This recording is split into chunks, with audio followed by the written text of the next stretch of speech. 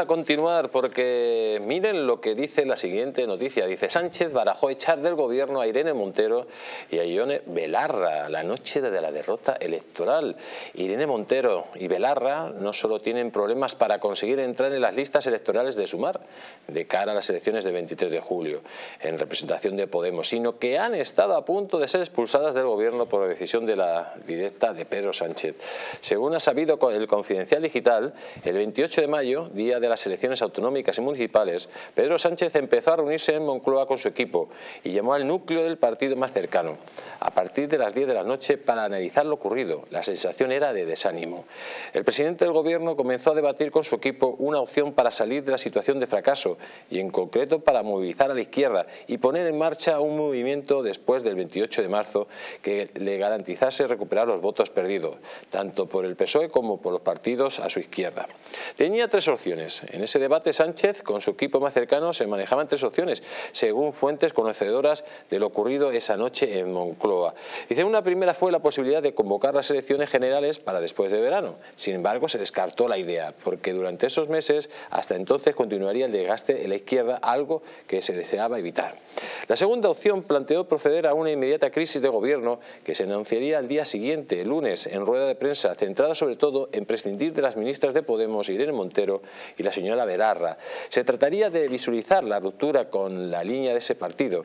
Según las fuentes citadas, el análisis que se ha hecho en Moncloa y en el PSOE después de las elecciones es que el principal culpable de la derrota electoral ha sido la ley del solo sí es sí, promovida por la ministra de Igualdad, Irene Montero. No se trata solo de que haya provocado rebajas de penas para más de mil delincuentes sexuales y un centenar de escarcelaciones, sino que se añade que las ministras de Podemos acusaron al PSOE de machista cuando el gobierno se planteó reformar esa eh, ley.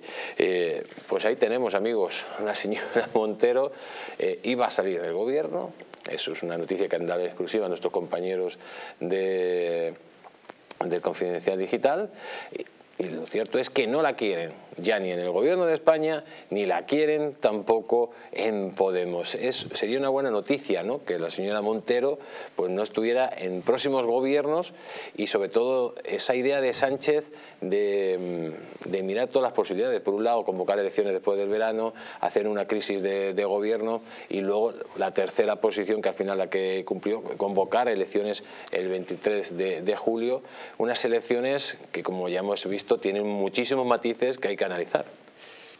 Hombre, que, que los comunistas, que es una ideología prohibida en la Unión Europea, salgan de los gobiernos es una magnífica noticia.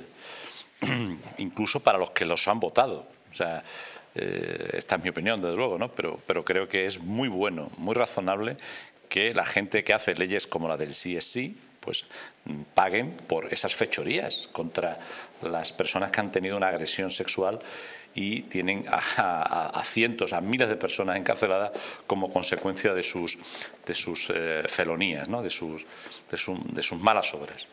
Pues no solamente, es que no ha dimitido nadie, entonces a mí me hubiese parecido muy bien que hubiese salido esta señora del gobierno. Con un poco de suerte, el 24 de julio saldrán todos de una atacada, ¿no?